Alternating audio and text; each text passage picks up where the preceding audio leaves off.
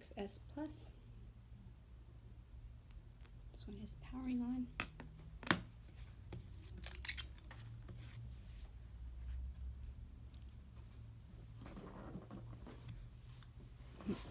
While that powers on, I'm going to read the IMEI numbers from the iPhone 6s um, here based on the back.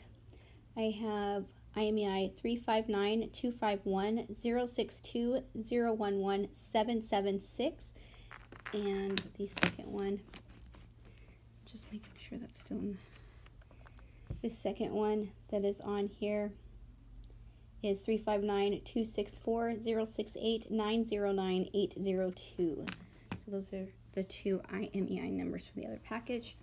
I'm going to go ahead and display the IMEI number for this one. I'll place this device at the edge of the table with the camera hanging off the edge. There is nothing on the back of the device, nothing on the flat glass surface. Hanging the camera off of the edge. Right now I'm seeing there's a bend and there is a definite bend. I take a piece of tempered glass here. When I try to slide it, it taps. This one's used. Get a different piece of tempered glass. This one's sticking to the table.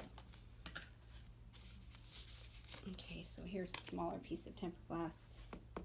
When I try to slide it underneath it, it just taps and doesn't slide, it hits the bottom. When I press at the top, you can see it's lifting, it's teetering, and I can slide the tempered glass. I can sl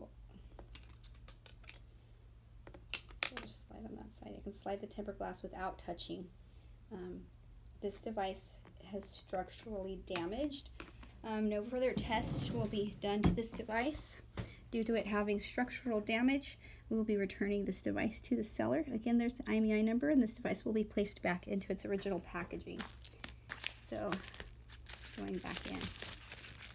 Still waiting for the other two devices to power up. I'm going to write the IMEI number on this package.